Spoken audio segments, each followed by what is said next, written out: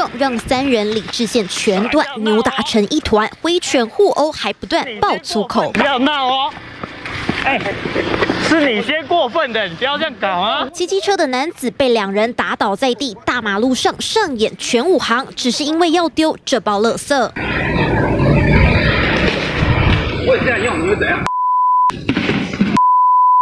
二十二日晚上凌晨一点多，永和知名乐华夜市已经收摊，大批清洁员在收拾。三十八岁的游姓男子却带着自家垃圾，硬要丢给清洁员，双方爆发冲突。